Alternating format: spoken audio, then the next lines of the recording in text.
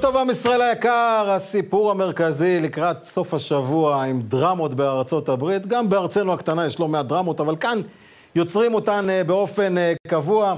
גדי נס הערב איתנו. ערב טוב, בועז. הבאתי אותך כדי שאולי יהיה נס, אני יודע, גדי, מה אתה אומר? טראמפ זקוק לנס, אפשר לומר.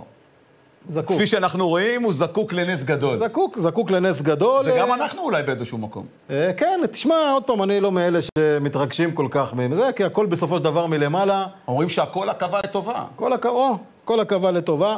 עוד מעט אה, טראמפ ידבר אה, בארצות הברית ואנחנו נתחבר ישירות איך שיתחיל הנאום של טראמפ. אתם יכולים לראות כבר מה קורה שם אה, בארצות הברית.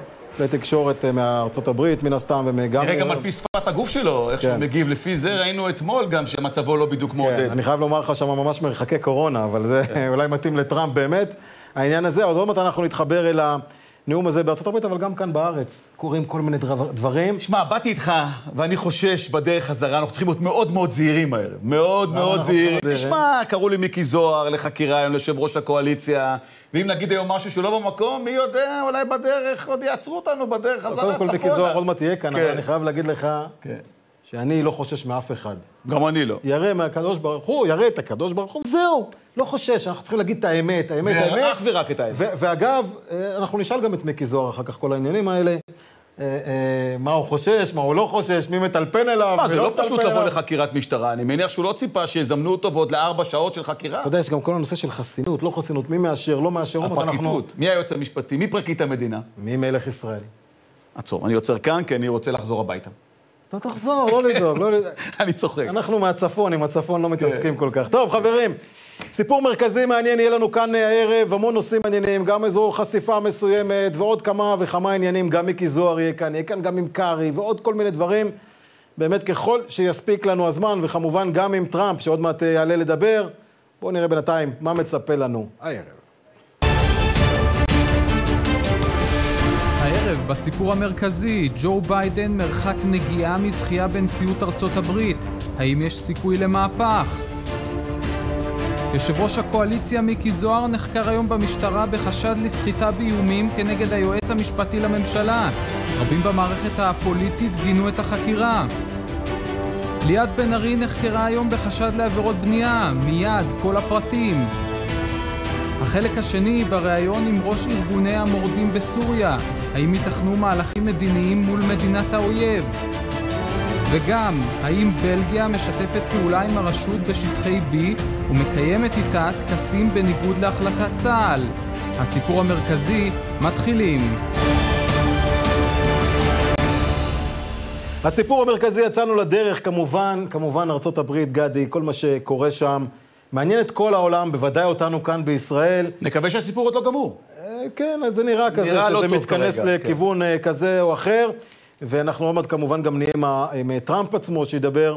אה, בעניין הזה מן הסתם מדבר על בתי משפט, כל הסיפור הזה מסביב, גנבו אותנו, כל הדברים האלה, זה, זה מה שהוא מתכנס, זה המקום היחידי שהוא עוד יכול אולי להציל שם משהו, אבל לצורך זה אנחנו רוצים אה, לשמוע את האנשים, דעות המומחים, את מי שמבין אה, בנושא האמריקאי, לעבור לתל אביב, שם אה, נמצאים אה, דני אילון, שגריר ישראל בארה"ב לשעבר, וגם פרופסור יוסי שיין, ראש אה, בית הספר למדעי המדינה באוניברסיטת תל אביב, ערב טוב לשניכם. לשעבר. לשעבר. אה, לשעבר, היום טוב. הכל טוב. ערב טוב. אה, קודם כל, רגע, נכון, סיימתי לאחרונה את התפקיד. אה, נו, אז אה, אתה רואה, אה, משהו יצא, לא שידעתי, שזה בדיוק את הנתונים, אבל אני זורם.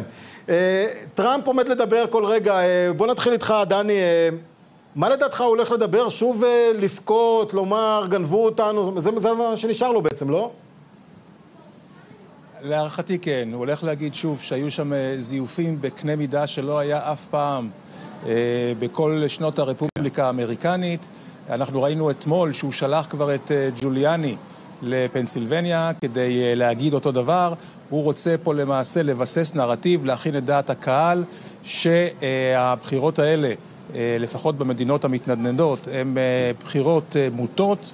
והוא מנסה לעצור את, את הספירה, ושוב, לקבע מצב שבו ייתן, ייתנו לו יתרון, אם לא בדעת הקהל, או אם לא בקלפי, אז לפחות אולי בבתי המשפט. פרופסור שיין, מה הסיכויים שלו, אם נסתכל, מה שהיה ב-2000, אל גור נגד, נגד אה, ג'ורג' בוש הבן, שבסופו של דבר אה, בוש זכה, מה הולך לקרות כאן להערכתך, אם הוא באמת יפנה לבית המשפט? א', אה, יש פה שני אלמנטים שאתה מדבר עליהם. אחד זה דונלד טראמפ, שבא וטוען שהמערכת האמריקאית נגנבת והיא הופכת למערכת, יום עצוב הוא אומר באמריקה, מושחתת. זה אף אחד לא אמר בשנת 2000, כולם אמרו רוצים לבדוק מה שקורה, לא האשימו את המערכת, אלא נתנו לספירה להיות, ואחר כך היה ערעור בבית המשפט, ובסיכומו אל גור וג'ו ליברמן נכנעו, כמו שאנחנו רואים, ככניעה ג'נטלמנית בתוך המערכת. כאן יש ערעור, וכנראה הערב דני אומר, יכול להיות לא נראה מה ש, שטראמפ יאמר, ואנחנו נראה, אה, ולכן זה מסוכן מאוד, כי הרחובות תוססים. ראינו חנויות שנסגרו, שאטמו חנויות. בכל אמריקה חנויות, בכל אמריקה חנויות מוגפות, אה, אה, דיקטים על כל החלונות, אה, שמירה בבתים, וזה יכול לדרדר את המצב לאלימות ממש. טראמפ איננו מקבל את כל הרעיון של ההצבעה במעטפות הזאת, ומתחילת הדרך הוא אמר, תראו איך היינו צבועים באדום ופתאום אנחנו בכחול. זה בהחלט כן. דרמה עצומה. מעבר לכל הבדיקה של, ה, של הבחירות בכל המקומות, הוא מערער על עצם הפרוצדורה ולכן זה יום עצוב מאוד, או ימים עצובים מאוד ומסוכנים מאוד לרפובליקה, כמו שדני קורא לה, לאמריקה הגדולה, וזה יכול חלילה להידרדר למצב של אלימות קשה ברחובות. כן, דני ויוסי, אולי אה, ככה נבדוק, נהמר שאנחנו הולכים למצב שבו ביידן הוא הנשיא הבא של ארה"ב, כיצד זה משפיע עלינו? תראה, להערכתי זה לא, בסופו של דבר לא ישפיע כל כך הרבה. אני חייב להגיד לכם שאני מכיר את ביידן אישית היטב. כשאני הייתי בוושינגטון, הוא היה אה, מה שנקרא ranking חבר בכיר בוועדת החוץ בסנאט, היו לי הרבה מאוד פגישות איתו, גם אה, אה, בארבע עיניים וגם אפילו השתתפתי איתו בכמה אירועים ציבוריים. קודם כל, אני חייב להגיד שהוא מגדיר את עצמו כציוני. למה הוא מתכוון, זה צריך לבדוק, אבל הוא מגדיר את עצמו בהחלט כציוני, הוא אמר את זה אפילו בפומבי. יש לו רקורד של 47 שנים. הוא היה 47 שנים בסנאט, מאות, אם לא יותר, אה, החלטות שם, הצבעות שם, שבכולן לא הייתה אפילו הצבעה אחת שבה הוא היה אה, או נמנע או היה נגד ישראל. לא נראה שוב את העימותים בין ישראל, רקורד. סליחה שאני קוטע אותך, לא נראה שוב עימותים כמו שהיו בזמנו בין נתניהו לבין אובמה? תראה, בוא נגיד ככה, הוא לא טראמפ. אה, אם טראמפ באמת היה הנשיא הכי פרו-ישראלי, באמת, אי פעם שהיה בבית הלבן, אנחנו לא נראה אותו דבר, אבל גם לא נראה את אובמה. לא נראה את אובמה, א', הטמפרמנט של ביידן הוא לא של אובמה, גם כל, הייתי אומר, כל אה, האידיאולוגיה שלו שלא של אובמה היה קיצוני, אובמה ניסה לשלוט מהשמאל הקיצוני, ביידן הוא איש מרכז, הוא ימשיך להיות uh, איש מרכז ולא uh, נראה כאלה סכסוכים כמו שהיו, ויש עוד דבר שחשוב לזכור, הנושא הפלסטיני היום הוא לא מה שהיה לפני שמונה או 12 שנים. אף אחד כמעט לא מעניין אותו הנושא הזה, מכיוון שסדר העדיפויות, יש לנו כמעט מזרח תיכון חדש, ו... כמעט. נכון, נכון, וגם, נכון, וגם הסדר אה, יום העולמי השתנה. צריך לזכור שיש לנו כאן אה, ברית מאוד חזקה אה, עם מדינות המפרץ, כולל סעודיה, למרות שעדיין אין יחסים פורמליים, וזה ימתן, הייתי אומר, כל לחץ, אם כן. יהיה... מצד אה, אה, ביידן. כן. אני אה, רוצה להוסיף כאן כמה מילים על ידידי. אה, תראה, זה לא יהיה כמו שאצל טראמפ, ואנחנו עוד לא יודעים איך זה יהיה, כי המזרח התיכון יש לו, ההנכחה שלו בוושינגטון מגיעה בדיוק בדברים בלתי צפויים. אבל אין ספק שהיחסים האינטימיים כפי שהיו עם טראמפ לא יהיו. אבל גם לא יהיה כל דיון בסיפוח. אתה זוכר שנתניהו אמר שהוא יספח, היה זה מיד ביידן שיצא ואמר שהוא מגנה זאת, וגם לא תהיה אהבה. כן. אני לא חושב שיהיו יחסים אינטימיים. אבל, אבל תסכימו איתי... יש במפלגה הדמוקרטית... תסכימו איתי שניכם... רק תן לי לסיים את המשפט. כן. רק תן לי לסיים, אני לא סיימתי. כן. יש, יש במפלגה הדמוקרטית ובאליטה הדמוקרטית היום עוינות לנתניהו, כי הם ראו בנתניהו, ורבים מהם, אני מכיר אותם, רבים מהם ראו בנתניהו את השותף האינטימי של טראמפ, ולכן אם אתה מסתכל על המצע הדמוקרטי ב-2020, והוא מצע די מעניין, בפעם הראשונה שלא מצוין שיש סמיכות ערכים בינינו לבין אמריקה, אלא רק סמיכות אינטרסים והיא מוגבלת. לכן אני אומר, זה לא יהיה כמו עם טראמפ, זה לא יהיה כמו באובמה, ואני מסכים כי המזרח התיכון השתנה, אבל הוא לא הולך לאמץ את הגישה כן. החמה של טראמפ, ולכן הדברים יכולים להתנהל בצורה מסוימת, והשאלה איך המזרח התיכון ינכיח את עצמו בוושינגטון, הוא בקרב אלה שהרטוריקה הישנה עדיין משחקת אצלם תפקיד, או העוינות שלהם לליכוד שנתפס אצלם, או לביבי בעיקר, שנתפס אצלם כחבר האינטימי של טראמפ. ביידן הוא הרבה יותר שקול, ודני צודק בעניין הזה, יש לו רקורד מצוין כן. של אהדה ל- לישראל, אנחנו ראינו אותו בביקור של דני הגדיר אותו כפרו-ציוני. אבל עוד פעם, כן, אין, אין ספק, בכלל אין ספק, אני, ממש אין ספק בדברים האלה, כן. אבל השאלה תהיה כמה אמריקה בכלל תהיה מעורבת ביחסים הבינלאומיים, יש לו לתקן בבית, אנחנו נראה, אבל זה ברור שהשאלה גם תהיה איך מדינות ערב והמדינות האסלאמיות כן. יפרשו את היותו של ביידן בבית הלבן, האם הם יחשבו שצריך רגע לעצור, כי עם טראמפ הם רצו לכיוון הזה, וכרגע יכול להיות שהם יעצרו, עלינו באמת להמתין, קודם כל שביידן באמת ייבחר, ושניים, שיהיה שקט באמריקה, ושלוש, ונראה מה יביע יחסי החוץ, שזה לא על סדר היום הציבורי כרגע. כן, דני, תסכים איתי רק במשפט אה, אחרון, אה, שגם נתניהו זה לא אותו נתניהו של אובמה, זה אדם יותר חזק, עם יותר קשרים, גם מול מדינות ערב, גם מה שקורה באמריקה, ויכול להיות שזה גם משהו שישפיע על ביידן, גם הוא צריך אנשים חזקים לידו. גם הקהילה היהודית אסור לשכוח. שהצביעו רבים מהם אה, עבור ביידן. בוודאי. בוודאי, והדבר האחרון שאני רוצה להוסיף על מה שאמר פרופסור שיינין, ידידי יוסי, זה שנראה, כן, שהסנאט ימשיך להיות רפובליקני, וברגע שהסנאט ימשיך להיות רפובליקני, זה מאחז אדיר שיכול אה, לסכל איזה שהן תוכניות אה, עוינות של הדמוקרטים. זה יכול להגיע לא מהבית הלבן של ביידן, אלא דווקא מפקידים כאלה ואחרים, אם הוא ישתמש בפקידים של אה, אה, אובמה לשעבר, וזה לא בטוח בכלל, או מחברי אה, אה, בית נבחרים, כמו איליאן עומר או רשידה טליב, אבל יש פה אה, מספיק בכוח בסנאט לעצור את זה, ולא אלמן ישראל. לא אלמן כל, ישראל. לא אלמן ישראל זה תמיד כן. נכון, ואנחנו מקווים, וצריך אבל, אבל, אבל, אבל יחולו שינויים, והשינויים האלה, אני חושב שאם לביידן אני לא נותן לו עצות, ביידן צריך לאמץ אולי את תוכנית טראמפ. השאלה אם נתניהו יהיה מוכן לאמץ את תוכנית טראמפ, שמדברת על שתי מדינות לשני עמים, יכול להיות שזה יחזור איתך, תתארו בנפשכם שהוא לוחץ לאמץ את תוכנית טראמפ בישראל עוד פעם, וזה דבר שהוא יכול להגיד, אנחנו מאמצים את תוכנית טראמפ. ואז מה קורה? האם נתניהו יסכים למתווה של שתי מדינות לשני עמים, או שהוא יהיה במשבר קואליציוני מיידי עם אה, אה, כוחות אחרים? כן. זה פה, תחשבו על הדילמות האלה שעלולות פה להתפרץ, אה, לכן אתם אל תשכחו שהימין הישראלי מאוד יוסי, יתנגד הבעיה, לטיעון. הבעיה זה לא ביבי נתניהו, הבעיה יהיה יוסי דגן. אם יוסי יקבל את התוכנית הזאת. טוב, יוסי ליוסי, יוסי שיין, פרופסור יוסי שיין, תודה רבה לך, וגם אה, דני איילון, תודה רבה לשניכם.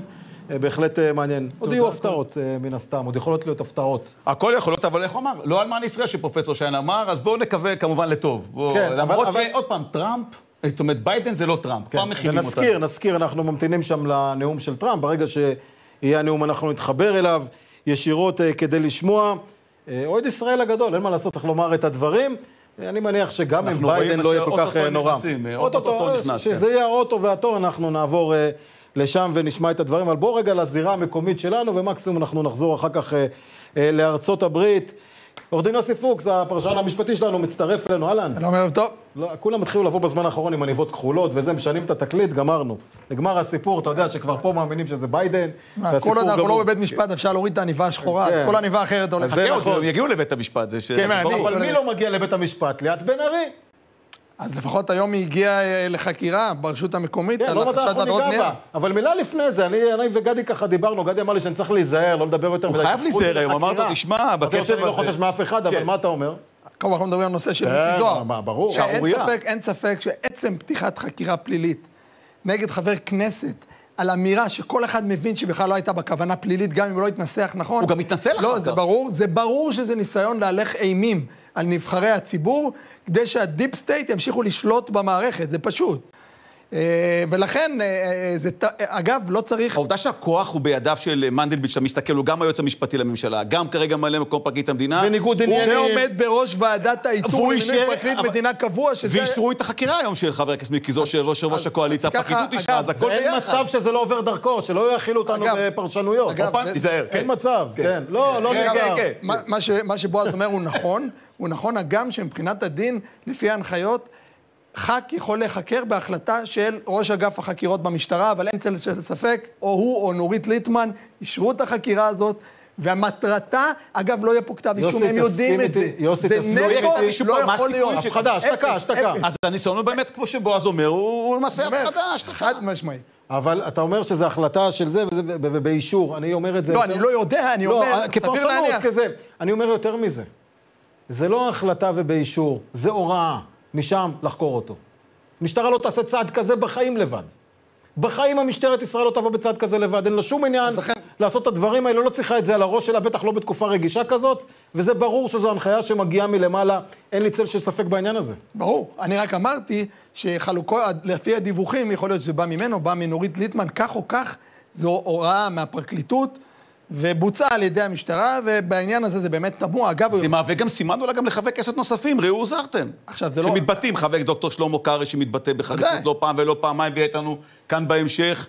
גם הוא מתבטא בהתבטאויות בעצם מסר, קשות. מסר לכולם. זה מסר לנבחרי ציבור, שבעצם הם נבחרו כדי למשול. אנשים לפעמים שוכחים את זה. הדמוקרטיה פה? אני אומר, מה שקרה כאן, ואנחנו מדברים על זה פה הרבה, אבל זה מצב אמיתי, שבו הפרקליטות בעצם מחזיקה בידיה את עתידה, עתידם של כל נבחרי הציבור, ובעצם זה השתקה מערכתית, אין להם יכולת לפעול, כי איך אומרים? ולכן אני גם חושב שזה שאנחנו חשפנו פה בערוץ 20, והיה הרבה, הרבה לבועז בעניין הזה, שאותם אה, אה, אה, אה, פרקליטים בפרקליטות, גם חשודים בכל מיני עבירות לכאורה, אנחנו נציף את זה ונמשיך להציף את זה, כי לא יכול להיות דין אחר לנבחרי ציבור, ודין שונה למי שבפועל... אגב, בעניין של ליאת בן ארי, שכבר אה, ניגע בו, זה לא לכאורה. היא בעצמה מודעה, רק אומרים, רף קטן, רף כן. נמוך. עבירות בוצעו שם, וגם עבירות, אגב, אנחנו עוברים עכשיו לנושא של ליאת בן ארי, ואני כבר אתן ככה איזה טיזר קטן לשבוע הבא. יהיה המשך וחלק ב' בנושא של נשיאת העליון אסתר חיות, יש שם לא מעט התפתחויות עם מה שחשפנו כאן, עם הבנייה אצלה בבית, שלא קיבלה היתר מה שלרבי מותר במרכאות, לחסידים אסור. שהוא רבי, זה מחצר שלמה שם, כן, מה אז שהם אני עושים. רק אמרתי, כן. עם, עם פיצולים והכל, אבל אם אנחנו אומרים פיצולים. מהפרקליטות לפרקליטה, חנוך עוז. מה, אומרים שבראש העין לא נדבקים, אתה לא, לא צריך מסכה, לא? יש, לנו חיסון. כן, חיסון טבעי. חיסון טבעי, זהו, זו רק הייתה כוונתי, שלא יגידו לי, אמרת מה אמרת, אז אני הלכתי על הכללית. היום אה, אה, חבר, אה, צריך לומר, חבר ועדת תכנון ובנייה בראש העין, חבר מועצה, מישהו שבשנה האחרונה ככה חתך את כל הכותרות בארץ. תגיד לי, היום ליאת בן ארי נחקרה, אחרי שהפרשה הזאת כבר סגרו אותה למעשה בתוכם, אתה הערת את זה מחדש עם ערעור וכל ה... קודם כל, מה היה בחקירה, לאן זה הולך, מה קורה? אפשר לדעת מה היה היום בחקירה. הם לא אומרים לנו מה היה, אבל אפשר... לה- מה, קפה, שעתיים קפה? יכול להיות. כן. היא ישבה שם מעל, מעל שעתיים, שזה זה מאוד מוזר לי. זה, זה, זה, זה המון זמן, חקירות רגילות במקרים כאלה. זה המון זמן, במיוחד שהיא כבר נתנה את גרסתה לכבוד השופט אה, הנציב אה, רוזן. אפילו דילגו על זה נכון. כבר. הביאו לי, שאני קיבלתי את מה שהיא כתבה בפניו, היא כתבה שם שבעה, שמונה סעיפים. על הגרסה שלה, על- על העמדה שלה. מה היה לשבת שם שעתיים וחצי? וזה אף הרי- אחד לא ידע שהיא אמורה להגיע, נכון? זה היה כזה... לא שלא ידעו, אמרו בכלל שיש פה אישיות בכירה, וגנץ נמצא פה. אה, אה, לא, לא, לא. שמועות שהיו, כן, כן, לא- לא רוצים. להיכנס, אבל לא חשוב, זה, זה לא מה שמעניין. מה, ש, מה שיותר חשוב זה שאי אפשר, אי אפשר שב-24 לשני תתגלה העבירה, והגברת תגיע רק אחרי עשרה חודשים לתת חקירה. שכבר נסגרה. כל תושב ש- מגיע שכבר אחרי עשרה סגרו ימים. את התיק הזה. כן, כל תושב מגיע אחרי עשרה ימים, לא אחרי עשרה חודשים. למה היא צריכה הנחות? אומר השופט אה, הנציב רוזן, אסור שיהיה לאנשים כאלה הנחות והטבות. למה היא צריכה לקבל... תגיד, חקירות כאלה לא פתוחות לכלל חברי הוועדה? אין איזה פרוטוקול של חקירה? לא, זה... זה חייב להיות. לא, מה שהיא תגיד זה יגיע לשופט. כנראה בזה היא הרחיבה שם. אבל זה- זה משהו שהציבור צריך לקבל. לא, אה, הפרוטוקול עצמו. שעתיים. לא, אז לא, הפרוטוקול עצמו עצמו לא... לא- מה לא כן מגיע? לא, אני אגיד לך מה כן מגיע. מה כן מגיע. שהיא כתבה, היא טענה ש- שאת המסמכים שיצאו, אז הם יצאו ויש שם פרטים חסויים. זה לא נכון, למה? ה- אה, לא רק שהם לא חסויים, הם גם הוסתרו. למה? כל בן אדם שיש לו עבירה, יוצא פקח, רושם את הממצאים. כותב, עשית עוד דירה, פתחת עוד דלת, פתחת זה. עכשיו, אם אתה מגיש במקביל בקשה להיתר, אז נכנס פקח וכותב את מה, רואה שהבקשה תואמת, והוא מביא לוועדה את כל הממצאים. אז ממצאי הדוח לא יכולים להיות חסויים. אבל יש פה, יש פה דבר אחד ברור, עורך דין אה, פוקס, דבר אחד מאוד ברור ש, ש, שאני מסתכל עליו עכשיו מהצד. הם גם עושים טעויות שם בפרקליטות, ואני אגיד לך מה הטעות כאן. זה זה שלקחו אותה לחקירה, כן? זה אומר שהיא הייתה צריכה להיחקר על עבירה שהיא ביצעה. הרי לא מביאים לחקירות בשביל החברים. גם אם זה בשביל לעשות וי, הם נפלו פה בעצם בעניין הזה שאומרים, הנה, עשית עבירה, לא, בואי לחקירה. לא, לא. לא, רגע, רגע, רגע, אז רגע, עזוב את הברירה. כן, אני רוצה להבין. אבל את הסיפור שלה סגרו כבר לפני חודש. מה זה אומר את הסיפור שלה?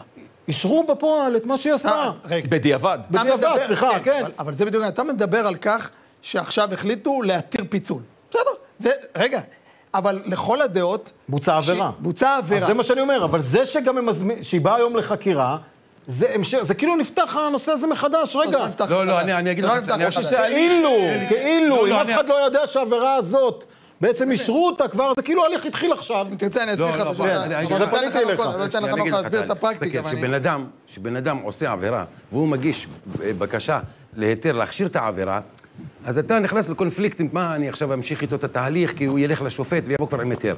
פה במקרה שלה, הנושא של הרישוי וההיתר נעצר, אין לה שום היתר. כלום, נאדה. אני הגשתי דיון חוזר, מהרגע שאני מגיש דיון חוזר, כל העצירים מוקפאים.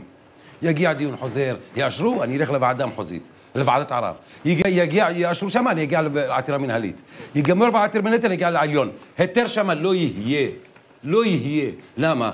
המקרה פה, זה רק אבל יכול להיות שיטענו שלא צריך היתר. אישרו לה ולא צריך. לא, אין כזה דבר. היא צריכה היתר. יש פה שוד קרקעות על ידי אנשים שמשקיעים ממחוסרי דיור. יש כמה עוד כמה. האבסורד היא שהיא אומרת לשופט, תראה מה היא אומרת. אני מניח שעוד לא נאמר אתם... המילה האחרונה. שמע, לא. אל תדאג, אל תדאג. כל עוד שזה קשור לחנוך עוז, המילה היא- האחרונה עוד לא היא- נאמרה. היא אומרת לשופט, מה היא אומרת לשופט? היא אומרת לו, מה רוצים? מה רוצים? בעלי היחידי, שים לב טוב, בעלי היחידי שהגיש אה, היתר וכולם כולם במתחם עשו עבירות.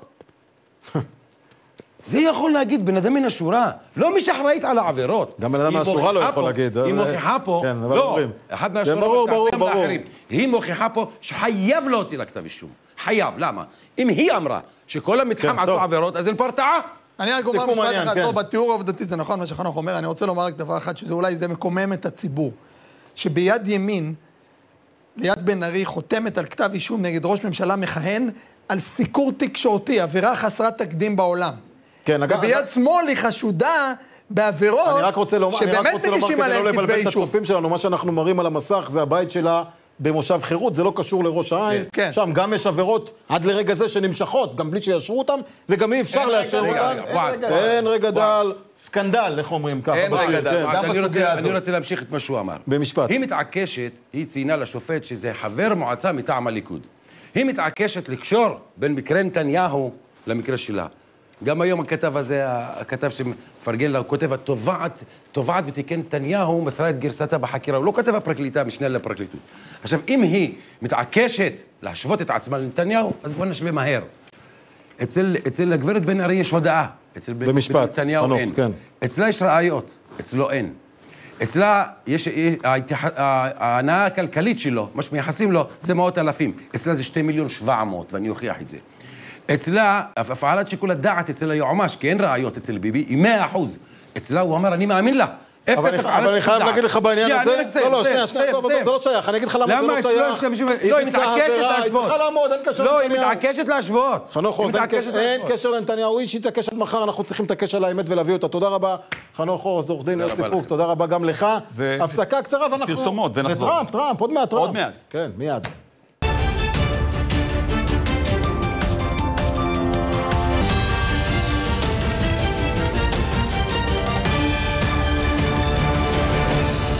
הסיפור המרכזי, חזרנו עם עיניים לאמריקה הרחוקה. ברגע שטראמפ יחל לדבר, אנחנו מיד נהיה עם הדברים שם. מה הוא הולך להגיד, אנחנו ברור לכולנו, זה לא יהיה הסכם שלום חדש, זה לא משהו כזה. מזרח תיכון זה- חדש, כן. זה, כן, זה, זה לא מה ש- מהפכה חדשה כן, אולי. כן. אולי הפיכה חדשה. ברוך ידיד הפרשן שלנו לענייני ערבים. אהלן, הבאת לנו במהלך השבוע, בתחילת השבוע, כתבה מדהימה, מרתקת, עם אה, אחראי, הראש של המורדים נקרא לזה ככה. אחד מראשי ארגוני הפוזיציה בסוריה. כן, בסוריה, ואתה מביא את החלק השני הערב, מה, מה אנחנו הולכים נכון. לראות? אז היום שתי שאלות עולות על השולחן. האם סוריה מאותתת שפניה להסדרים גם עם ישראל? ומה מציעה האופוזיציה הסורית אה, בתמורה כדי להישאר על הגלגל? אה, יש בחודשים האחרונים תכונה רבה מאוד ביחסי סוריה עם מדינות ערב. אה, פרשנים, עיתונים, עיתונים חשובים כמו שרק אל-אוסט, מדווחים על כך שסוריה מאותתת לרוסיה, לארצות הברית, שברצונה לסדר את יחסיה מחדש עם העולם הערבי, עם הליגה הערבית ואפילו עם ישראל. בין אם הדבר נכון ובין אם הדבר הוא תרגיל דיפלומטי, ועל זה נדבר עם דוקטור מיכאל ברק עוד רגע, ובין אם ארגוני האופוזיציה הם בעלי עוצמה או לא, הרי שהדבר הזה, הכוונה של סוריה, האיתות, להסדיר את יחסיה, גורם לארגוני אופוזיציה בסוריה לחזר אחרי כלי תקשורת, אחרי ישראל בעיקר, כמי שיכולה להיות גשר גם לארצות הברית. ולכן, בין השאר, מציעים אנשי האופוזיציה, נראה תקף אחד מהם, אה, גם מפת דרכים מול ישראל, ובין השאר לבטל או למחוק או להתנער מזכות השיבה הפלסטינית, משהו שהוא בלב קודש הקודשים. בואו נראה את הדברים גם שאומר... הסורים למעשה אה, זורקים את הפלסטינים. שים לב, הנה הוא עונה לך. نحن مؤمنون نحن مؤمنون في سوريا بأنه لا يمكن بناء مرحلة تاريخية جديدة لسوريا والمنطقة إلا بإقامة السلام، السلام العادل، سلام الشجعان مع إسرائيل. لذلك منذ سنوات طويلة وحتى بل من, بل بل من بداية الأحداث في سوريا كان لدينا فكره أنه لا يمكن لإسرائيل أن تساعد أن تساعد السوريين على الدخول في مرحلة انتقالية إن لم تحصل. إسرائيل على الضمانات المطلوبة. وهذا ما قاله لي عبد الحليم خدام والعماد حكمة الشهيد أن إسرائيل بحاجة إلى ضمانات. لذلك نحن أنا أنا شخصيا وبصفتي رئيسا لجبهة الأنقاذ الوطني في سوريا وجهت خطاب وبالعلن ولأول مرة منذ خطاب أنور السادات البطل الشهيد أنور السادات الرئيس أنور السادات قمت بتوجيه خطاب عام 2016 للشعب الإسرائيلي من أجل السلام بناء السلام بناء مرحلة تاريخية جديدة ما بين الشعب السوري والشعب الإسرائيلي نحن بالنسبة لنا القضية قضية الوحيدة القضية الوحيدة التي تشكل عائقا للسلام ما بين سوريا وإسرائيل هي قضية الجولان وليس القضية الفلسطينية، وقضية الجولان نحن قادرون على الوصول إلى تفاهمات وتسوية سياسية ترضي كلا الشعبين السوري والإسرائيلي. في بداية 2017 قدمنا خارطه طريق من أجل السلام ما بين سوريا وإسرائيل، سوريا الجديدة. كانت تضم خارطه الطريق ستة نقاط أساسية، أجبنا من خلال هذه الخارطة على مجمل الهواجس التي اولا وهو الموضوع المتعلق بأمن وأمان دولة إسرائيل ومواطنيها. ثانيا موضوع علاقه سوريا الجديدة ما بعد الأسد مع إيران وادواتها. ثالثا موضوع الفلسطينيين واللاجئين الفلسطينيين في سوريا. بالضرورة فك المسار السوري عن المسار الفلسطيني. نحن مشكلتنا مع إسرائيل ليست القضية الفلسطينية. الفلسطينيون توصلوا توصلوا إلى اتفاق سلام مع إسرائيل وأصبح لهم كيان وسلطة شرعية معترف بها دوليا. وتفكيك سلاح المنظمات الفلسطينية المسلحة سواء في سوريا أو في لبنان. حل المشكلة الفلسطينية يتم أولا بمساعدة الشعب الفلسطيني للتخلص من هذه القيادات الفاسدة التي تتحكم بالقرار الفلسطيني. ثانيا يجب بل من الضرورة تجنيس وتوطين اللاجئين الفلسطينيين حيثما وجدوا في الدول العربية والإقليمية والدولية. فلماذا تبيع قيادات الفلسطينية وتبيع نظم الاستبداد العربي الوهم الوهم للفلسطينيين في حق العودة؟ العودة إلى أين؟ بالتأكيد من حق أي فلسطيني العودة إلى رام الله أو غزة. الأراضي الخاضعة للسلطة الفلسطينية أو سلطة حماس حاليا في غزة. ولكن العودة إلى الأراضي الإسرائيلية أصبحت أراضي إسرائيلية. أنتم اعترفتم بدولة إسرائيل. אפשר להאמין בכלל? אתה יודע, שאני מסתכל ככה על הגולן, אנחנו כבר היינו בעבר בעמדה הזאת, דיברו איתנו על הגולן, וטוב שלא נסוגנו מהגולן, ואנחנו רואים מה היה בשנים האחרונות במלחמת האזרחים הזאת. עם מי אפשר לדבר? עם מי אבל, אפשר להאמין? אבל לא? שמעת ערבים, לא שמעת סורים שאומרים שהחק אל-עודה, השיבה, היא אשליה, והם. הם כבר רגילים למילה תטביע, נורמליזציה. הוא מדבר על טוטין, שזה כמו להכניס חזיר להיכל.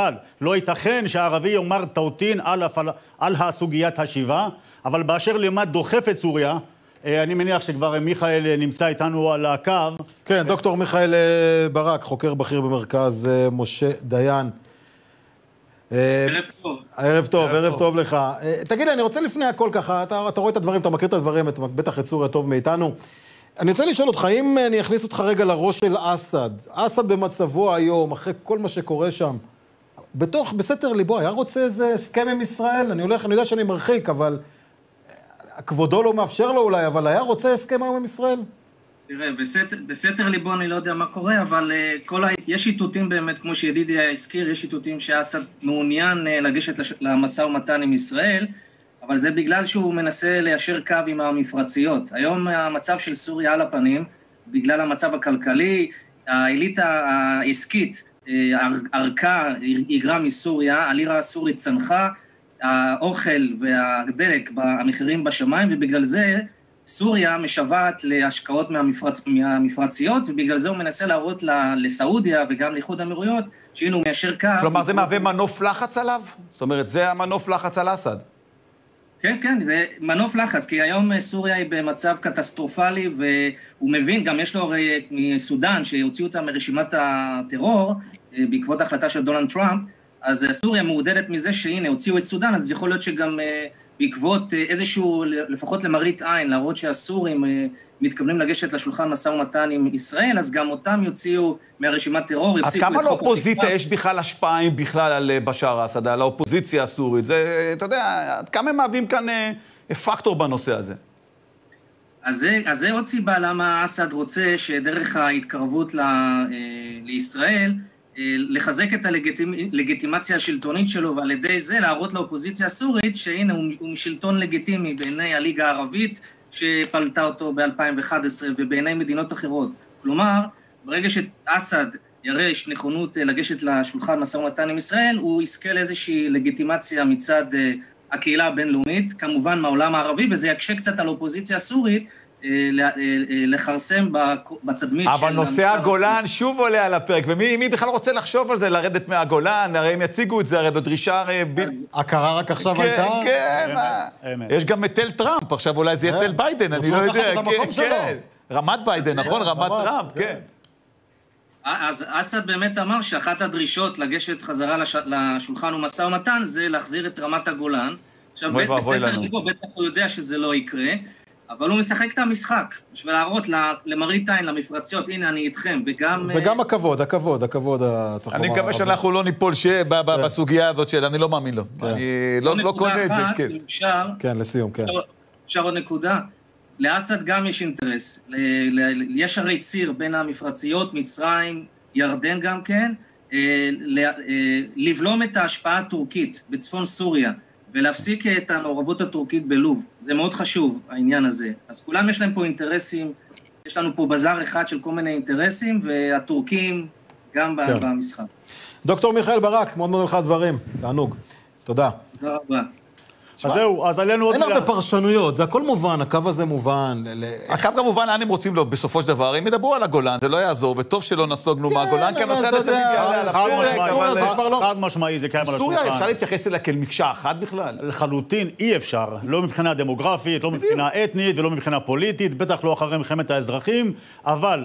לאחר שהעולם הערבי העלה על סדר היום את מילת תטביק, כמו שאמרתי קודם, הנה עכשיו אנחנו מעלים את המילה טאוטין, אזרוח של הפליטים הפלסטינים, לפחות על פי הדובר הזה. כן, לפחות על פי הדובר הזה, ובהחלט אה, אני רק אה, לסכם את העניין הזה, אני נזכר שכשאני התגייסתי, מה לימדו אותנו? פיתות סוריות. 87, גבעתי, אימנו אותנו איך להילחם על הפיתות הסוריות. היום אפילו חומוס כבר לא מדברים שם. תשמע, הדברים זזים, וצריך לזכור תמיד שאת סוריה המיעוט מנהל. המיעוט. העלווים זה המיעוט. כן, המיעוט. 11 אחוז. 11, 13 אחוז, אני יודע, מספרים האלה, זה פשוט הזוי. נכון. והיו גם כאלה שחשבו שבשאר אסד יהיה יותר רומני, וראינו אחר כך מה שקרה, את השחיטה שהוא ביצע שם. ולכן קמה הפוזיציה, אמת. אה, לכן אני מתקשה להאמין, אה, כן. יצא מזה משהו. אבל ימים יגידו. ברוך ידיד. אולי, אולי גם אסד יהיה ידיד פעם, מי יודע. תודה רבה. סלח לי שאני צוחק פה, קשה לי להאמין. תודה, תודה. טוב, אנחנו נצא להפסקה קצרה. אחריה נעסוק גם במשהו שקשור בכל בית בישראל, וזה למה? כי אם אתם רוצים לראות את הנאום של טראמפ כמו שצריך, אתם צריכים אינטרנט טוב, לא? אינטרנט חזק. חזק. עוד מעט תראה כמה שהאינטרנט חלש. מיד.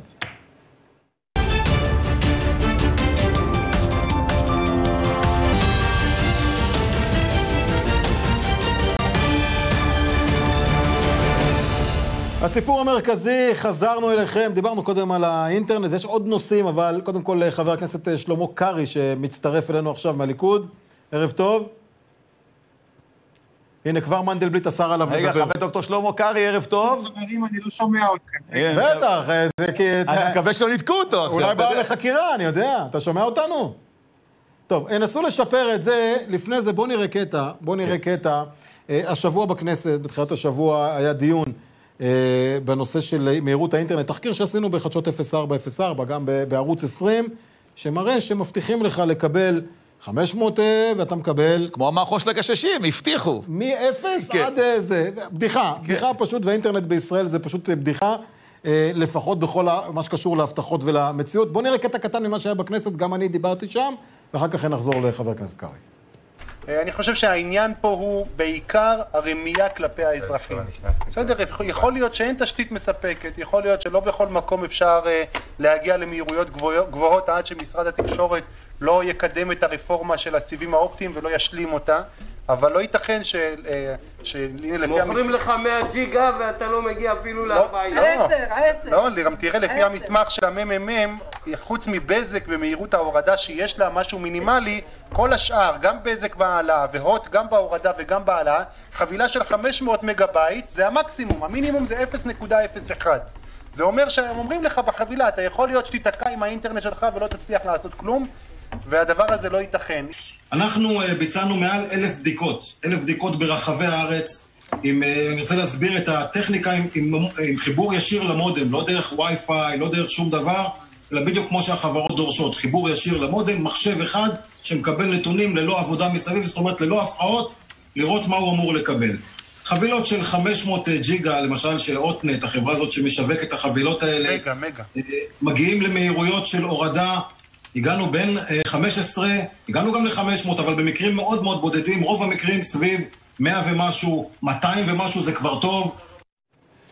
טוב. בוא, מה שאני מבין פה למעשה, שזה ישראבלוף בשורה התחתונה. אה, כביכול ולכאורה, כפי שעובדים עלינו, אני אענה לך. קודם כל ראינו שאת קארי בקושי שומעים, זה בדיוק הנקודה. אני מבטיח לך שהחבילה של קארי, הוא לא מגיע לחצי ממה שמבטיחים לו. עכשיו, אני אגיד לך למה זה לא... אולי בטלפון, אני לא יודע בטלפון, אני מקווה שזה נשמע אותו טוב יותר. אני אגיד לך למה זה לא ישראבלוף, למה לא עובדים עלינו. כי כולם כאן יודעים שזה מה יש. שבישראל יודעים להגיד לך ככה, ותקבל משהו אחר. עכשיו, יש לך ברירה, אתה יכול לעשות משהו אחר, אתה לא יכול. וזה הסיפור אה, נראה ככה. קרעי נמצא איתנו?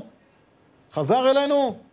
לא חזר אלינו. הנה האינטרנט, אתה מקבל את זה בלייב, לא אה, מתוכנן. אז אולי נעלה אותו בטלפון, זה הסיפור, כן, תנסו אולי לשים בקו כן. הטלפון, כי זה, אה, כי זה יעבוד, וצריך לומר עוד דבר.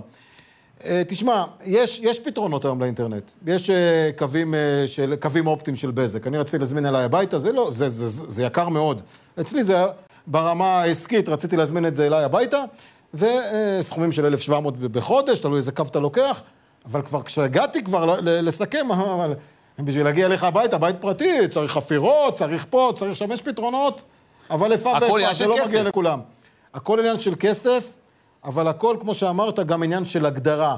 ובדיון הזה בעצם, אחרי הדיון הזה, בעקבות התחקיר שלנו ובעקבות מה שקרעי העלה, אה, לוקחים אותנו, לוקחים אותנו. והנה, חזר אלינו חבר הכנסת קרעי, איתנו שוב, ערב טוב. שלום, ערב טוב. אז אתה רואה, האינטרנט דפוק, במילים פשוטות, הנה, לא הצלחנו לשמוע אותך. כן, טוב, קשה להאשים מישהו, אי אפשר לדעת מה הייתה הסיבה לתקלה, אבל אה, בהחלט האינטר... באופן כללי האינטרנט אה, לא בסדר. אה, החברות מבטיחות חבילות מקסימום, בטח כמו שתיארתם קודם, אבל הן לא מתחייבות אפילו למינימום המינימלי. הם, בעצם הן אומרות, המינימום זה שאין לכם אינטרנט, 0.01 ומה הסנקציות שניתן, שהמחוקק, איזה סנקציות יכול להטיל עליהן? על אותן חברות שמבטיחות ולא מקיימות? כרגע אין שום סנקציה, כי הן לא מבטיחות כלום למעשה. החברות אומרות ללקוחות, אתם מקבלים אינטרנט עד 500 מגה, אבל מי, אפ- המינימום זה 0.01. יכול כלומר, אנחנו כבולים. בידיהן, אנחנו כבולים בידיהן בשורה התחתונה. נכון, נכון, השאלה- נכון, וזה זה אבל- מצב אבסורדי, זה מצב שאסור לו להימשך. אבל השאלה, חבר הכנסת קרעי. השאלה, השאלה פה, זה אם אני הולך עכשיו לקנות, אני חושב שאמרו, זרקו גם את המשפט הזה בדיון בכנסת. אני הולך לקנות עכשיו קופסת קוטג'. מה, כתוב עד 500 גרם? ואם יש 100, אז אני אפשר, אי אפשר לחייב אותם שהציבור, שהלקוחות ישלמו על פי מה שהם מק- מקבלים, ולא... או החזר לצרכנים, לאן כן, לצרכנים. החזר כלשהו. בדיוק. בועז, בעקבות התחקיר שביצעת, זה בהחלט מה שדרשנו בוועדת חוקה, שיהיה איזשהו רף מינימום. אנחנו מבינים שיש כל מיני גורמים ופרמטרים שמשפיעים על, על המהירות בפועל, אם זה מרחק מהארון ודברים כאלה למיניהם, אבל זה לא מעניין. אנחנו רוצים שיהיה משהו, תגידו, לא 500, אבל בין 400 ל-500, בין אה, 70 ל-100. בין אה, 40 ל-50, ולא ייתכן להגיד לכל החבילות, גם אלה שמשלמים עליהם כל כך יקר, אתם מקבלים בין 0 ל-500 או בין 0 ל-100 או בין 0 ל-50. זה, כן, לא, טוב. זה לא מתקבל, זה חבר דבר ש... הכנסת קרעי, אבל בוא- בוא נדבר, בוא, אה, כן, אה, כן, בוא, כן. שמע, תגיד, על אינטרנט אתה יכול לדבר, על דברים אחרים מרשים לך, או שיקחו אותך גם לחקירה? שיחה, רגע, קיבלת שיחת טלפון היום? מ- ממספר חסום? אה, מכם הרגע קיבלתי ממספר חסום, אבל... אה, אה, לא, התכוונתי, אתה יודע, אחרי מה שאמר היום יושב ראש הקואליציה. עוד מעט חבר תיקחו גם את המספרים החסומים, כן. שזה יהיה רק להם. כן, אה, מה עושים עם זה? מה, שקורה כאן זה פשוט אה, אה, מנדלבליט משתמש באותן שיטות של סחיטה ואיומים שהוא תיאר שהופעלו נגדו, תפסו אותו בגרון, איימו עליו לאורך הדרך, לאורך התפקיד שלו, אולי אפילו עד היום, כי התיק שלו עדיין לא סגור, וזו מין תסמונת סטוקהולם, שהשבוי מתאהב באי- ב- באידיאולוגיה של השווה שלו, והוא מתחיל להשתמש בעצמו באותה אידיאולוגיה. זה מה שקורה כאן להערכתי. אנחנו לא, לא נפחד מהדבר הזה, נמשיך לקרוא למנדלבליט, להסיר את צווי איסור הפרסום, שתהיה בדיקה מעמיקה בעניינו, על כל הדברים, על כל אותם תיקים שאולי הוא כלומר, תפר, אולי- החקירה של חבר הכנסת מיקי זוהר היום לא מרפאה את ידיך. זאת אומרת, אתה אומר, אני אמשיך. בפירוש לא, אני חושב שהחקירה הזו, על לחקור חבר כנסת על התבטאות זה דבר חמור ביותר, דבר שיכול לקרות רק במשטרים אפלים. זה לא נראה לקוח במקומות אחרים, אני חייב להודות, זה לא נראה כמו במדינת ישראל. בוודאי, זה מדרון חלקלק מאוד, רק אם מדובר, והזכירו איזה פעם אחרת שכן חקרו חברת כנסת את אה, אה, זועבי על התבטאות, אבל שם זאת הייתה הסתה לאלימות, לפגיעה ב- באזרחים, לפגיעה בנפש. זה דבר שונה לגמרי, אבל לא ייתכן שנבחרי ציבור יבואו ויגידו מילה ויצטרכו לחשוש ממנדלבליט שיגיד להם בואו בואו לחקירה תיזהרו. זה, זה משטרת מחשבות. אז מה זה... אתם כמחוקקים יכולים לעשות עכשיו? בשורה התחתונה, אתה יודע, אתה אומר, אנחנו לא זה, אבל הנה, חוקרים. קוד, קודם כל, אה, אני שמח שיושב ראש הכנסת אמר את הדברים בצורה ברורה. הוא יושב ראש הרשות המחוקקת, ואנחנו אה, נטה שכ, שכם במאבק הזה כדי אה, לעצור את זה שהדבר הזה לא יישנה. זה, זה, אגב קיים בחוק, כתוב בחוק חסינות חברי הכנסת. חבר כנסת לא יישא באחריות פלילית או אזרחית ויהיה חסין מפני כל פעולה משפטית בשל הבעת דעה בעל פה. זה דבר שכתוב, זה דבר שהוא בחוק. מה שעשו היום זו פשוט התנהלות של כנופיה. כן, מה. שהנשיא ריבלין בזמנו. אמר כנופיית שלטון החוק, אנחנו רואים את זה מתממש לנגד עינינו. ולא סתם זה קרה היום. אבל אתה אבל הוא אומר התנהלות של כנופיה, והוא צריך להיזהר. שמע, אתה רואה היום שקוראים לחקירה בעקבות דברים חריפים אולי שנאמרים. הוא יקבל כנאפה בין חכה. הכאלה, כן. אבל אני רוצה, אני רוצה ממש לסיום ל- לומר, אני אומר את דעתי כל הזמן בעניין הזה, קרעי, אתה יודע את זה היטב. שוב, אני חושב שהבעיה היא אצלכם. כי אתם צריכים להקים, לקום כל הליכוד, לפחות הליכוד, ביחד, ולהגיד, איתנו אין יותר שיתוף פעולה איתו, עם היועמ"ש. אנחנו לא מוכנים. מי שיושב לנו על הראש, מי שמאיים עלינו, מי שלוקח... מי, הוא איים אגב, לא אה, מיקי זוהר, כי מיקי זוהר לא יכול לאיים בקלטות שאין לו, וכולנו יודעים את זה. אני מוכן לתת לו, אני מוכן לתת לכולכם, שמישהו יעלה וישתמש בחסינות. עכשיו יגידו גם אני שאני מאיים, רק תגידו לי, רק, רק שזה יקרה בתחנת זבולון, קרוב לבית. תראה, אבל תשמע, לצערנו, בועז, אתה יודע... אבל אתם דגים, דגים, קרעי, אתם דגים, אתם מפחדים לעשות משהו. אבל אתה רואה מה שקורה, אז יכול יודע באיזשהו מקום שזה מלחיץ אותם. אתה, בוודאי שזה מלחיץ אותם, ואתה רואה גם, הם לא סתם עשו את זה אני דווקא מקווה גם היום מלחיץ אתכם באיזשהו החברה- מקום, כן. החברה של נורית ליטמן, אה, החב- החברה של ליאת בן ארי, שהיא נורית ליטמן, היא זאת שקבעה את זה היום, בשעה שחברתה נחקרת על עבירות בנייה בראש העין. ניסו להסיט את האש הציבורית כלפי העניין הזה כדי להסתיר ולהשקיט ולקבור את כל מה שקשור לעניינים שלהם. הדבר הזה הוא, אתה יודע, ובועז, לגבי מנדלבליט, שלא נשתף איתו פעולה, לצערנו היחיד שיכול לפטר אותו זה שר המשפטים. הוא היחיד שיכול לקרוא לוועדת האיתור ולבקש ממנה... נראה. לך שניסנקורן יעשה את זה? בוודאי לא. שלא, וזאת הבעיה שלנו, ולכן אנחנו צריכים כאן בחירות, אחרי שנצא כן, אבל אתה זוכר מה היה שר. המשפטים לא מזמן, אתם מגלגלים את זה לא, עכשיו הלאה, לא, אז כן, לא, צריך אז לומר את ה... הוא לא יכל, היועץ המשפטי הוציא חוות דעת שבתקופת מעבר, בממשלת מעבר, אי אפשר לעשות דברים כאלה, ולמנות אה, או לפטר את תפקידים, אה, תפקידי מפתח. כן, טוב, אבל חייבים אה, לסיים, כן, לא, בועז. כן. הפרקליטות הקציבה לנו כן. זמן, אנחנו לא... לא אנחנו, מתקדמים הלאה, אה, כן. זה לא יעזור להם, אני אגיד לכם, הדבר, הם מנסים להשתיק ביקורת. אבל הם לא מרשים לנו. להמשיך יותר, עצרו לנו לא את הרעיון, זהו. קיבלנו הודעה, קיבלנו הודעה לעצור, כן. חייבים, חייבים, חייבים להתקדם. היה איזה מפלגה שהשתמשה בזה, לא הלך לה כל כך. אבל אנחנו כאן אה, נתקדם. תודה רבה, חבר תודה, הכנסת שלמה קרעי, תמיד. תמיד זמין. תודה רבה לך, אה, אברהם בנימין רגבים. מה שלומך? שלום שלום, ערב טוב. תהיה ריבונות? זה סתם, דרך אגב. מתישהו. אי אפשר לאבד את התקווה, ואנחנו מאמינים שיהיה. אמרתי דעתי תמיד, זה גם עם טראמפ, גם ביידן, עם אף אחד לא תהיה ריבונות. אם לא רוצים פה, אנחנו לא כמובן, לקבוע. כמובן, זה תלוי בהחלטה שלנו, כן. זה הציטוט הידוע, לא חשוב מה אמרו הגויים, מה יעשו היהודים. אבל. בינתיים מה שקורה, וכאן אנחנו מפרסמים את זה כאן אה, לראשונה, אה, פרסום אה, מוקדם יותר כאן בערוץ 20, הבלגים כבר עושים ריבונות משל עצמם, אפשר לומר, לא? הבלגים מתערבים באופן גס בכל מה שקשור לנוכחות הישראלית, היהודית, ביהודה ושומרון. אנחנו מדברים פה על אירוע חמור מאוד. מה שאנחנו רואים תמונות אה, ברקע, נכון? כן, אנחנו רואים ברקע את, אה, את העיר סבסטיה, העיר שומרון העתיקה, זו בעצם בירת ממלכת ישראל במאה מה השמינית והתשיעית. לבלגיה פתאום ולנו להתערב בדברים שלנו? בואו בוא נבין רק קצת על כמה, כמה זה חמור. עיר הבירה של ממלכת ישראל במאה השמינית והתשיעית לפני הספירה, הבירה של אחאב מלך ישראל, אליהו הנביא, כל סיפורי התנ"ך בעצם שמתחוללים שם, נמצאו שם שרידים אה, אה, מאוד מאוד מיוחדים, אבל למרות זאת העיר הזאת כמעט לא נחקרה ולא נחפרה מעולם. צריך להגיד, היא שנייה בחשיבותה רק לעיר דוד, ירושלים הקדומה. ששם באמת עשרות שנים חופרים וחוקרים, וכמו שצריך ניתנת לזה הרבה תשומת לב ציבורית והמון המון משאבים, ושם העיר הזאת לא נחקרת. ומה שקורה, שבעקבות הסכמי אוסלו, שאנחנו סוחבים אותם כמו גיבנת על הגב כבר 25 שנה, אה, חלק מה, מהאתר הוא נמצא בשליטה, ביטחון, בשליטה אזרחית של הרשות הפלסטינית. ומה שהרשות הפלסטינית עושה שם, היא פשוט מקדמת שם אתר מורשת פלסטיני במרכאות. כלומר, כבר בשנים האחרונות היא בעצם מחקה את כל אה, שנות המורשת היהודית, היא לא מזכירה שהסתובבו שם יהודים, אה, לא בתקופה אה, של בית ראשון ולא בתקופה החשמונאית, וגם בפועל, של הריסות ממש בפועל, אפשר לראות כאן בווידאו הזה ש, שהבאנו לפניכם, ממש מגרש כן. ספורט שנסלל על גבי העתיקות. כלומר, העבודות פה שנעשות כביכול במעטה של, אה, של פעילות לשימור האתרים, היא בעצם פעילות למחיקה. אנחנו גם יודעים מה, מהפעילות של רגבים לא מעט, אני גם הרי הסתובבתי איתכם לא מעט, אה, בהרבה מקומות, רואים קרוון, איחוד אירופי, פעם ספרדים, פעם בלגים, מביאים את הכסף, עושים מה שהם רוצים, מפנקים את הרשות, נותנים להם כדי... זה לא מפתיע, אנחנו כבר נתקלנו בזה לא מעט. המפתיע הוא כן. שאנחנו, סלחו לי על המילה כאן, ב- במהדורה הזאת של שמונה, בסיפור המרכזי, שאנחנו מטומטמים.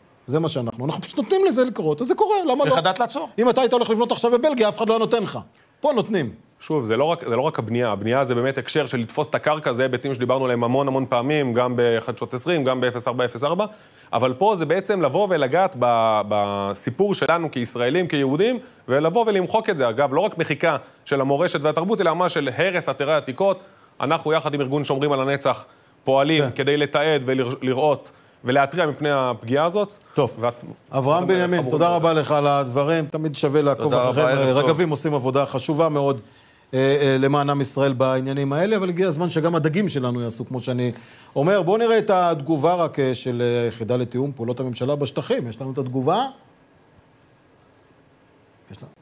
אז אה, בואו נראה, התגובה שלהם ככה, האתר הארכיאולוגי סבסטיה משתרע בחלקו בשטח C ובחלקו אחר בשטח B. האירוע המתואר בפנייתך התרחש בחלקו של האתר המצוי בשטח B, אשר נמצא תחת שליטה אזרחית של הרשות, זאת על פי הסכמי אוסלו. כידוע, המינהל האזרחי אמון על מימוש הסמכויות האזרחיות בשטחי C בלבד, ומשכך פועל בשט... בשטחים אלה לשימור האתרים הארכיאולוגיים, כמו גם למניעת שוד והרס עתיקות. נדגיש כי בשנה האחרונה הוביל המינהל האזרחי עשרות פעילויות אכיפה כנגד זה וכולי וכולי, אנחנו מכירים את כל הדברים האלה.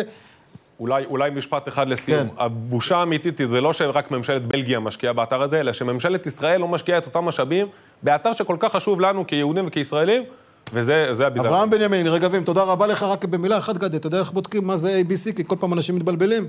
A, ערבים, B באמצע, C, סלנו. ככה יודעים מה שייך מה שייך לנו, רק לא כל כך הערב, אנחנו כן. עושים את הריבונות שם בעניינים האלה. איתי בר-טוב, מנהל קונסולות במשרד החוץ, אה, מצטרף אלינו. חוזרים לעניין האמריקאי, לבחירות בארצות הברית. מתחיל עם התחלנו אמריקה, ואנחנו... ערב. טוב. אני לא שומע אתכם, סליחה. לא שומע אותנו אני גמור. מקווה כן. שעכשיו אתה שומע אותנו? עכשיו אני שומע, כן. יפה, אז אה, קודם כל ערב טוב, איתי. ערב טוב, מה שלומכם? בסדר, אני- תראה, אנחנו כאן ב... אולי לא תפקידך לומר, אבל אנחנו מקווים ליותר טוב, אתה יודע, כמו רוב עם ישראל. השאלה איך אתם שם במשרד החוץ, איך אתם... אם גם שמרנו על המרקם היחסים גם עם הדמוקרטים ולא רק עם הרפובליקנים שבעידן של דונלד טראמפ, הם השארנו איזשהו פתח עם ביידן. אז תראו, אני קודם כל לכם בשני הלילות האחרונים בממוצע של שעתיים אה, שינה ללילה, אה, באמת אה, החליטו להוציא לנו את המיץ עם הבחירות האלה, אבל די ציפינו לזה, זאת לא הפתעה. אה, לגבי השאלה עם הדמוקרטים, אנחנו כמשרד חוץ, וכאן יש לנו שמונה נציגויות, קונסוליות, אה, פרוסות בארצות הברית, פלוס השגרירות בוושינגטון, אנחנו בוודאי שומרים על קשר עם הדמוקרטים, עם הרפובליקנים, עם כל האוכלוסיות שאת, שאתם רוצים אה, לחשוב עליהן. היחסים הבי-פרטיזניים הם חלק מהותי מהעבודה שלנו ומהיעדים שלנו. גם במהלך תקופה שידענו על טיב היחסים בין נתניהו לבין טראמפ, שהשקיעו רבות בכך, שנתניהו השקיע רבות בכך? כן, גם בכל התקופה אנחנו בקשר עם הדמוקרטים. תראה, ברור שלפעמים יש יותר מתיחויות ופחות, אה, ברור שיש לנו קצת יותר עבודה עם הדמוקרטים עכשיו, אבל לנו, אנחנו תמיד שומרים על קשר גם עם המחוקקים, ומבחינתנו אין הבדל בין רפובליקנים לדמוקרטים. זאת אומרת, אה, ענייני, קודם כל, אנחנו, רק בזמן שאנחנו מדברים איתך, אנחנו רואים את שידור אה, ישיר אה, מארצות הברית, אה, מה שקורה שם, שם מאוד במתח אה, ב- בעניין הזה, אבל מה שאתה אומר במילים אחרות, אין פוליטיקה בעבודה שלכם, הכל... אה, אבל הפוליטיקה... זו הדיפלומטיה. אה, כן, אבל הפוליטיקה משפיעה, אי אפשר לומר ש- שהיא לא משפיעה. כי יש דברים שלא יעלו על הפרק בעידן ביידן, לעומת דברים שעלו על הפרק בעניין טראמפ. כן, אני שירתתי בוושינגטון והייתי שם בתקופת המעבר מאובמה אה, לטראמפ, ואני עבדתי עם שני הממשלים מאחורי הקלעים בצורה הדוקה. אינטרסים, בבסיס של הערכים ושל האינטרסים המשותפים קיים והוא חזק וזה לא ישתנה. אני לא אומר שזה זהה לח- לחלוטין, ובוודאי שיש אה, ניואנסים לפה ולשם, אבל כמערכת יחסים, העבודה שלנו, לנו אין שום הבדל בין הדמוקרטים לרפובליקנים. כלומר, לא אלמן ישראל, כפי שאמרנו פרופסור שיין בפתיחת התוכנית. אתה יודע, הייתה איזושהי דאגה מבחירתו של... אה, יש דאגה רואה מבחירתו של ביידן. תראה, אנ- על ביידן, תראה, ביידן, כל אחד שיגדיר איך שהוא רוצה, אנ- אנחנו רואים אותו כמועמד פרו-ישראלי, זה אולי המועמד הכי טוב מבחינתנו במפלגה הדמוקרטית. דני איילון בתוך הגדיר אותו קודם לכן כפרו-ציוני. כל, אני, אני לא רוצה להיכנס להגדרות ואל תסבכו אותי עם הגדרות. אה, אה, ביידן מבחינתי, מבחינתנו, הוא, הוא, אנחנו מכירים אותו הרבה מאוד שנים, אה, הוא מכיר אישית גם את ראש הממשלה נתניהו, הוא אוהב לספר את הסיפור שכשהוא היה סנאטור צעיר ב-1973, איך הוא נפגש עם גולדה וכמה הוא התרשם ממנה וכמה הוא אוהב את ישראל. הוא גם עשה מהלכים... אני לא רוצה להיכנס להכל, אבל הוא עשה מהלכים גם בתקופת הקמפיין שפשוט מראים את התמיכה שלו. זה לא אומר שהכל יהיה רגוע איתו ושקט, אה, בוודאי שהוא שונה מטראמפ, אבל אה, טראמפ שונה כנראה ממרבית אה, הנשיאים שהכרנו לפניו. אה, אבל אובמה, אה, אה, סליחה, אה, ביידן בהחלט אה, נשיא שאנחנו מגדירים אותו כפרו-ישראלי. כן, טוב. איתי בר-טוב, מנהל קונסולות במשרד החוץ, תודה רבה לך על הדברים, מעניין, בהחלט מעניין. אז הנה, תודה עכשיו, לכם. תודה רבה. בקרוב בקרוב. והנה מצטרף אלינו, נכנס אל האולפן יושב ראש הקואליציה, חבר הכנסת מיקי זוהר. ערב טוב. היי, שלום, ערב טוב. מה שלומך, קודם כל? לא, לא פשוט. אה, מעולם לא עברתי עבירה פלילית, מעולם לא נחקרתי במשטרה. ארבע מעולם שעות לא של חקירה. בניתי קריירה פוליטית בדם, יזע ודמעות הרבה מאוד שנים. אני עובד קשה כדי להגיע למעמד ציבורי מאוד מאוד אה, גבוה, ועושה מאמץ כדי להראות לציבור שלי שאני נלחם בשבילו, נאבק בשבילו, הולך לרעיון רדיו, אומר את העמדות שהציבור שלי מרגיש, חוב- מחווה את דעתי על ההתנהלות של, הפרקליט, אה, של פרקליט המדינה שי ניצן, על ההתנהלות של אביחי מנדלבליט, וחוטף חקירה פלילית בגין ניסיון סחיטה באיומים על היועץ המשפטי לממשלה בעקבות ראיון רדיו. זה דבר שלדעתי חצה את הרוביקון הכי הכי מופרך ששמעתי, לא יכול להיות שבדמוקרטיה שלנו, אנחנו נבחרי הציבור לא נוכל לדבר יותר, לא נוכל לבקר, נוכל להגיד מה אנחנו חושבים, משום שאם אתה תדבר, אתה תיחקר, ויכול להיות אפילו שיוגש נגדך כתב אישום. אני אתה מרגיש היום... שמנסים להלך עליך אימים באיזושהי דרך? לא, זו חקירת השתקה. זה ניסיון להשתיק אותי כנבחר ציבור, מלומר את מה שאני חושב, מלומר מה שמיליונים שעומדים מאחוריי חושבים. והדבר הזה מבחינתי באמת בלתי קיבלת, נתפס. קיבלת תמיכה אדירה, ראיתי גם את הציוץ שלך לפני זמן קצר, תודה לכל התמיכה הרבה לא הזאת. שאתה מקבל, כי העם לא מרגיש. את זה, שמשתיקים מדהים. גם אותו. גדי ככה בחצי צחוק אומר לי בתחילת השידור, תיזהר, אל תגיד אני יותר לא, מדי, אני כי- לא אומר את זה גם אה, בצחוק, אני אומר, אנחנו חוזרים לצפון, אני אומר, בוא ניזהר, צריך להיזהר בשביל אבל לא אתה לא- יכול לא להגיד משהו לא במקום אולי מבחינתם. חבר הכנסת זוהר, אתה יכול להסביר לי איך אתה יכול לה- להיות מוגדר מאיים אם אין לך את הקלטות בכלל? א', אין לי שום קלטות. אני מוכן אגב לתת לך, אבל זה לא כן. אין לי שום קלטות. דבר שני, דיברתי שם על קלטות הרפז, שחלק מהם נחשפו גם על ידך, חלק נחשפו על ידי אלה חסון, חלק נחשפו בבג"ץ אה, בראשי. לא דיברתי על שום דבר אחר, זה אחד. דבר שני, לא איימתי על היועץ המשפטי לממשלה בשום צורה. גם התנצלת בשום אחר דרך. כך, לא התנצלתי, כי לא היה להם מה הסברת, להתנצל. נתת איזשהו הסבר הבהרתי אחר. שלא איימתי עליו, אלא אמרתי דברים קשים ונחרצים, ואני עומד מאחורי הדברים הקשים והנחרצים שאמרתי, כי לא היה בהם שום כוונה לאיום או שום רמז לאיום. לקחו את דבריי, הוציאו אותם מהקשרם לגמרי, הפכו את זה לאיום מפורש נגד היועץ המשפטי לממשלה, מה שלא היה, מי ששומע את הרעיון הזה כמה פעמים יבין שלא היה שם שום איום מפורש. ולאחר מכן מגדילים ועושים, החליטה אה, פרקליטת, אה, אה, ממלא- אה, ממלאת מקום, אם אינני טועה, או סגנית, כן. הפרקליטה, אה, הגברת ליטמן, חקירה, חקירה פלילית נגד חבר זה? כנסת. מי עומד? מי מי בישל את החקירה הזאת? שאלה טובה, אני לא יודע לתת על זה את התשובות. אבל אתה בוודאי חושב מידע. בכיוון מסוים, לא? אני חושב דבר אחד, אני חושב שנחצה פה קו אדום, אני חושב שהדמוקרטיה הישראלית בסכנה כשדבר כזה אז קורה. מה אתם הולכים לעשות עכשיו כחברי כנסת? שמע, אתם יושבים בכנסת, ואתה בא ואתה אומר, נחצנו, למה נחצו כל הקווים האדומים, מה אתם יכולים? לעשות עכשיו כחברי למה כנסת? צריך את חוק חסינות חברי הכנסת? כן, אין לו... אין לו ערך. הרי אתה לא יכול לומר את הדברים שאתה חושב. דיברנו כך בדרך, וגם. כשהשר אוחנה בזמנו פתח את הפה, למה- אז כבר גם למה- עם החסינות. למה נולד חוק חסינות חברי הכנסת? להגן עלינו, חברי הכנסת, בפני יכולת לדבר ולבקר, אז גם אם צריך בצורה חוקים שכאלו נחרצות. אבל החליטו לעצור את זה היום. החליטו להגיד לכם, חברי הכנסת, מי ששומע אותי בבית, ולי, יו"ר הקואליציה, חבר'ה, תיזהרו, אל תדברו. עכשיו תראו, אני עשיתי עשייה מאוד מאוד ברורה בנושא הזה של המאבק על, ש- על, ה- על, ה- על שיפור מערכות אכיפת החוק, על שיפור מערכת המשפט. אמרו לי, אדוני, תיזהר, יתפרו לך תיק, אתה לא יודע עם מי אתה מתעסק. לא האמנתי. אמרתי, יש גבול. יכול להיות שינסו לעשות משהו אם באמת עשיתי משהו רע. ובאמת, אני אדם שמאוד מקפיד, מאוד הולך בדרך הישר, אף פעם לא טועה, מאוד מאוד זהיר בהתנהלות הציבורית שלי, והנה, אז אתה מרגיש שתופרים לך תיק אני עכשיו? כאן. כביכול ולכאורה. ניסיון, ניס... להגיד שאני איימתי על היועץ המשפטי לממשלה בזמן שלא איימתי ולחקור אותי על ראיון רדיו? אין עושים, גבול? עושים ל- ל- לזוהר מה שעושים לאחרים, משאירים אותם עכשיו על אש קטנה, תזכור, לא. תתעסק איתנו. לא, תסתכל. בעניין הזה, בעניין הזה. אני אומר לך- הנה, הוא בא לפה לאולפן, אבל- הוא לא לא חשש. אני אומר לך ואני אומר גם להם, אני אמשיך לבקר, אני אמשיך לומר את מה שאני חושב, אני אמשיך לייצג את הציבור שלי נאמנה. אף אחד לא יכול להלך על האימים, אף אחד לא יכול לאיים עליי. אני בן אדם שאומר את האמת. והציבור שעומד מאחוריי, והוא ציבור רב, סבור שאני אומר את האמת.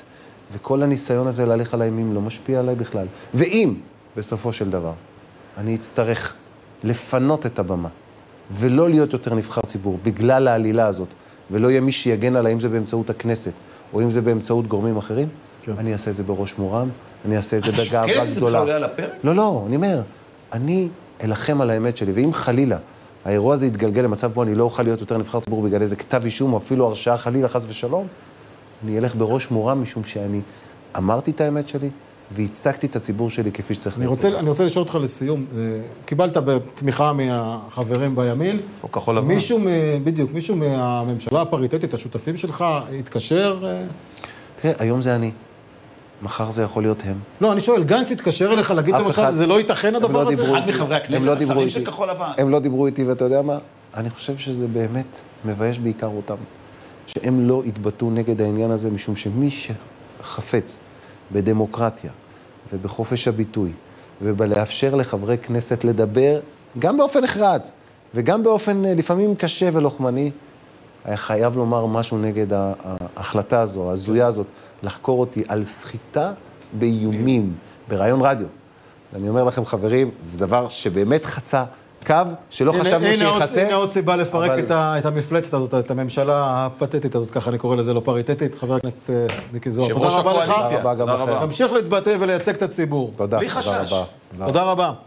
איתמר פליישמן, לכם? אה, לא הייתם לדבר אני היום? יושב פה בשקט, אני לא. מתערב, חבר הכנסת זוהר. אסור, אז זה לא לא- לא- אני לא רוצה להעיר אה, שדים מרבצם, אתה יודע. כן, מה הולך להיות הערב? אה, האמת, לא יותר מדי, שבוע די משעמם סך הכל, קצת גשם, קצת מזג אוויר, לא, אנחנו נדבר על טראמפ, וגם הנשיא טראמפ יכול להיות שיישא הצהרה בשעה הקרובה, אם כן, כמובן שאנחנו נעביר את זה. נדבר כמובן על החקירה של חבר הכנסת מיקי זוהר, וגם על חקירה של ליאת בן ארי אנחנו נדבר, החלטה של בג"ץ מהיום, ועוד מלא מלא מלא, יהיו איתי בני ציפר.